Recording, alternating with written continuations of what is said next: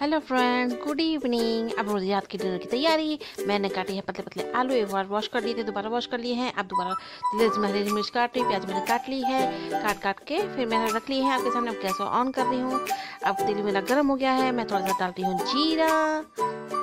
अब जीरा क्रैकिंग हो गया, गर्म हो गया, मैंने डाल दिया आलू, प्याज और मिर्च का, जो मैंने आपके काट के सामने आपके रखे थे। थोड़ा सा नमक, थोड़ी सी हल्दी, इसमें ज़्यादा कुछ मसाला मसाले नहीं डलते बस थोड़ा तेल ज़्यादा डलता है।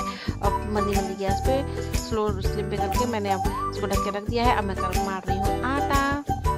ये देखो रात की रोटी, रात खाने के लिए बस थोड़ी बहुत रोटी चाहिए होती है। मैं हूँ अजय है और मनु है, यानी हमारा डॉगी है। ये मार लिया मैंने आटा, इसकी लोइया बना के रख लिया मैंने। ये देखो फ्रेंड्स अब मैं गोल गोल रोटी बना रही हूँ। ये बना रही हूँ गोल गोल रोटी, फ्रेंड्स, अपने लिए बच्चे के लिए और मन्नू के लिए। फ़र्स्ट रोटी मैंने बेल ली है, तवे पर डाल दी है, बीच में सब्ज़ी को भी चला रही हूँ। ये देखो, फ़र्स्ट रोटी मेरी सीख गई है, ये डालूँगी अब मैं प्लेट में डाल दी है। ये है मेरी आज की थाली, रोटी, अचार, आलू सब्ज़ी और चकुंदर की सलाद, यानी सैलड। अगर फ्रेंड, आप भी इंजॉय करते